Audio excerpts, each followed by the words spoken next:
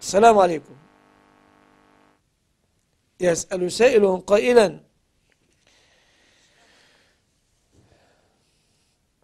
ما صحة حديث الدعاء سبع مرات بأسأل الله العظيم رب العرش العظيم أن يشفيك ويعافيك. الحديث سنده صحيح وبقيت مراجعات كتب العلل في هذا الصدد.